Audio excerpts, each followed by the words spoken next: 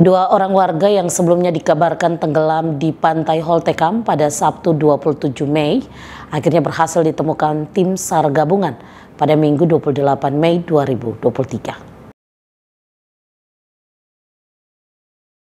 Tim SAR gabungan Minggu 28 bulan Mei berhasil menemukan dua jasad korban tenggelam di pantai Holtekam kilometer 12,2 Kota Jayapura. Pencarian kedua korban ini sejak Sabtu 27 Mei.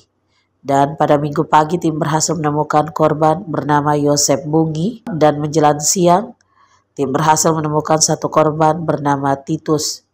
Keduanya berhasil ditemukan oleh tim SAR gabungan tidak jauh dari lokasi kejadian. Saat ditemukan, keduanya sudah dalam keadaan meninggal dunia.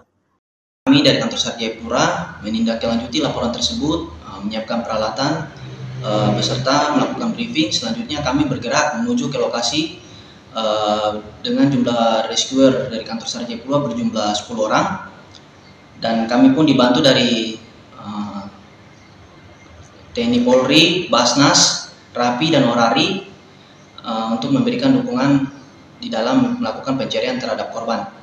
Selanjutnya pada pagi hari ini 28 Mei 2023 pada pukul 7.28 pagi uh, kami berhasil tim SAR gabungan berhasil menemukan korban atas nama Pascal Yosef Nunggu berumur 28 tahun uh, di lokasi tenggelamnya korban di Pantai Oltekam dalam kondisi meninggal dunia dan selanjutnya dievakuasi ke darat dan diserahkan kepada keluarga korban dan rencananya uh, keluarga korban membawa langsung korban ke rumah duka di Unurum Buai. Sebelumnya, dua warga asal Genyam ini dilaporkan tenggelam di pantai Holtekam, tepatnya di kilometer 11,2 pada Sabtu 27 Mei.